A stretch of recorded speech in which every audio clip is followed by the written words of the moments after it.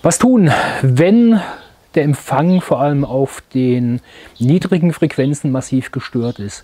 Es gibt LEDs, es gibt Schaltnetzteile, es gibt DSL, all das sind Störungen und manchmal kommen wir mit Drahtantennen nicht hin. Ich habe einen Tipp für euch.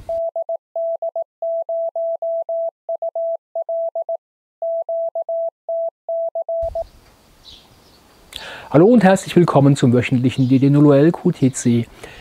Wenn die Drahtantenne nicht mehr funktioniert, könnte es, es muss nicht, aber es könnte sich lohnen, die Sendeantenne und die Empfangsantenne zu trennen. Senden würde man nach wie vor über die Drahtantenne, die in irgendeiner Art und Weise einen guten Wirkungsgrad hat.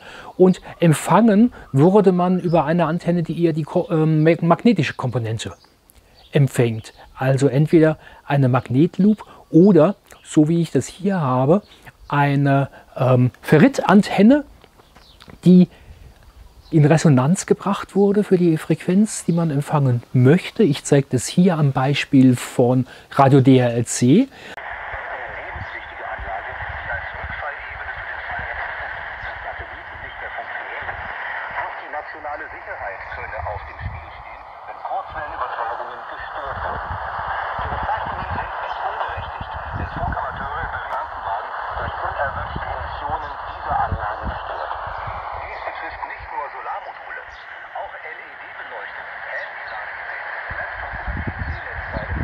Ihr seht hier 20 Windungen sind aufgebracht. Es ist ein kleiner Drehkondensator mit dabei.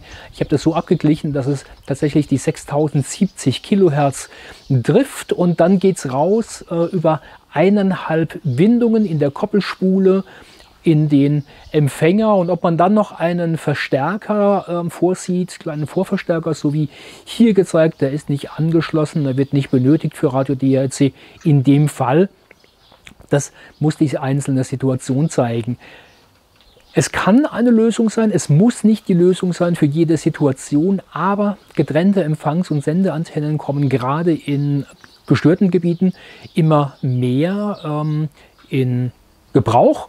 Und ja, wie ihr sie hier seht, es funktioniert mit dem Empfang und ähm, ja, das nahe 40 Meter Band oder das 3,5 Megahertz, der 3,5 Megahertz Bereich, das wäre, wenn man das Ding noch ein bisschen abgleicht, dann natürlich auch noch drin abgedeckt und vielleicht eine Alternative dazu, komplett QRT zu sein.